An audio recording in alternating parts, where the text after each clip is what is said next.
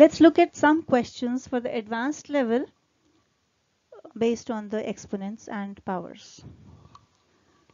So the question says if we are given that 2 is equal to 10 raised to power m and 3 is equal to 10 raised to power n, we need to find the value of 0.15 in terms of m and n. we need to arrange these numbers in descending order and we need to evaluate this expression. So some more questions that we have on the advanced level. If x is equal to y raised to power z, y is equal to z raised to power x, z is equal to x raised to power y, we need to find out the value of x, y and z.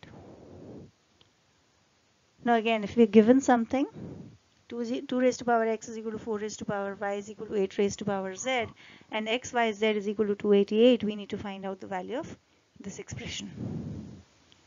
And the last question for the advanced level is, if we are given this, we need to find out the value of 1 by b plus 1 by c.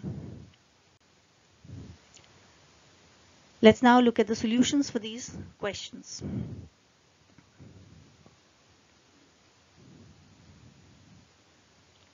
So now 2 is equal to 10 raised to power n and 3 is equal to 10 raised to power n. Now how do we find out the value of 0.15? We first write 0.15 as 15 by 100 and simplify it which becomes 3 by 20 and 20 can be written as 2 into 10. So now we'll replace the values of 3 and 2 by 10 raised to power n and 10 raised to power m respectively. So we get 0.15 is equal to 10 raised to power n divided by 10 into 10 raised to power m. So we have 10 into 10 raised to power m. So 0.15 becomes 10 raised to power n minus m minus 1. So that's the answer.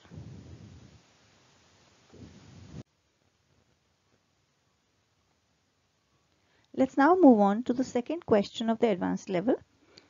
We need to arrange these numbers in their descending order. The numbers are root 5, cube root of 2 and the fourth root of 3. Now the first thing that we need to see is that these numbers, the first number is the square root of 5, the second number is the third root of 2 and third number is the fourth root of 3. So now since these numbers cannot be compared directly because the numbers the base is different and the power to them is also different so when we want to compare them and arrange them in the descending or ascending order what we need to do is we should either bring the base to the same value or the power to the exponent to the same value for all these numbers so in this case what we do here is we bring them to the same power. Now what, what do we do for that is the power for this for 5 this is 1 by 2 power for 2 is 1 by 3 and the power for 3 is 1 by 4 so now to bring them to same power we take the LCM of 2, 3 and 4 and the LCM is 12. Now we can change all these numbers to their 12th root and then we'll be able to compare them. So to change root 5 into something which is 12th root of a number we get 5 raised to the power 6 whole root 12. Now how do we get that? So changing root 5 to some number raised to the power 1 by 12 means we have 5 raised to power some unknown number which is let's say a whole raised to the power 1 by 12 and that should be equal to 5 raised to the power 1 by 2. So that using the law of exponent it obviously gives us that a will be equal to 6. So we get the required number 5 raised to the power 6 whole raised to the power 1 by 12. Similarly, we change cube root of 2 to 2 raised to the power 4 whole raised to the power 1 by 12 and the fourth root of 3 get changed to 3 cube whole raised to power 1 by 12. So now we have the numbers as 5 raised to power 6 whole 12th root and then 12th root of 2 raised to power 4 and 12th root of 3 raised to power 3. Now we have to arrange them in the descending order. So then these numbers are equivalent to 15625 12th root of this 12th root of 16 and 12th root of 27 and we can clearly see since the roots of the three numbers are the same the largest number would be the largest base would be the largest number so the descending order would be 15625 12th root is the largest and then 12th root of 27 and then 12th root of 16 so now that gives us that square root of 5 is greater than fourth root of 3 and that is greater than cube root of 2.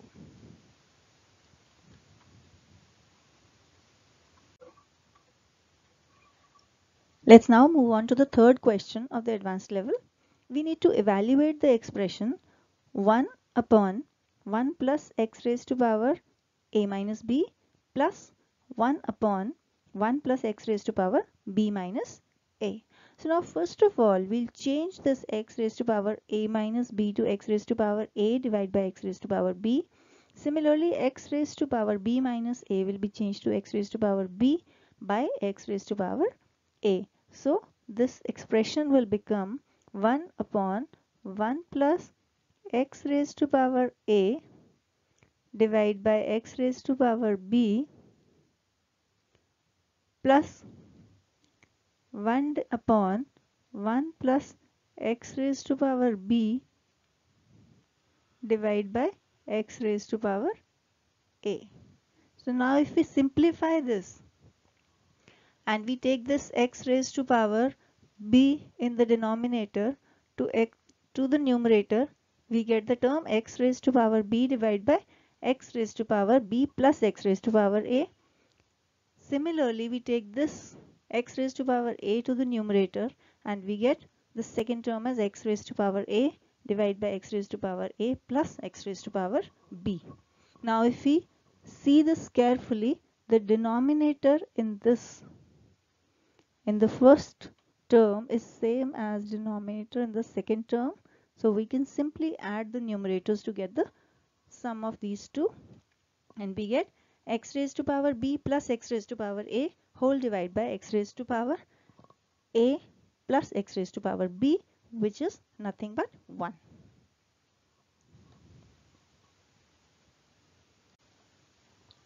Let's now look at the solution for the next question, the fourth question uh, we are given, we're provided with this that x is equal to y raised to power z, y is equal to z raised to power x and z is equal to x raised to power y. We need to find out the value of x, y and z.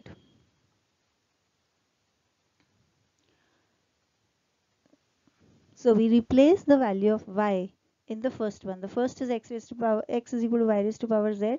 We replace the value of y in this equation and y is given to be z raised to power x. So it becomes x is equal to z raised to power x whole raised to power z. Now we get x is equal to z raised to power xz using the law of exponent. Now we again replace the base z. We don't replace the value of z in the exponent but we only replace the value of z in the base and we get x is equal to x raised to power y and whole raised to power xz which becomes x is equal to x raised to power xyz. So that means xyz is equal to 1 because x raised to power 1 is equal to x raised to power xyz. So xyz is equal to 1 is the answer. So let's now move on to the fifth question. the question says that if 2 raised to power x is equal to 4 raised to power y is equal to 8 raised to power z and x, y, z is equal to 288 then we need to find the value of the expression 1 by 2x plus 1 by 4y plus 1 by 8z. Now let's see how do we proceed about it. So first thing that we do is we change the base of all of these.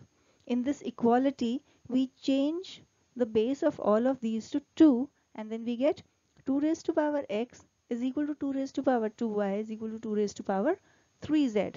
And now since the base is the same we can equate their exponents and that will give us x is equal to 2y is equal to 3z. Now getting the value of y and z in terms of x we get y is equal to x by 2 and z is equal to x by 3. Now we'll replace the values of y and z in this expression which is x, y, z is equal to 288. In this equation we'll put the value of y and z and we get x into x by 2 into x by 3 is equal to 288. Now simplifying this we get x cube is equal to 288 into 6 because we got the 6 from the denominator of the left hand side to the right hand side. So x becomes cube root of 1728 which makes x is equal to 12. y is equal to x by 2 so y is equal to 6 and z is equal to x by 3 which makes it z equal to 4. So now getting the value of this expression 1 by 2x plus 1 by 4y plus 1 by 8z we replace the values of x, y and z we get 1 by 24 plus 1 by 24 plus 1 by 32 and that gives us 96 in the denominator as the LCM of 24 and 32 and we get 4 plus 4 plus 3 in the numerator and hence the answer is 11 by 96.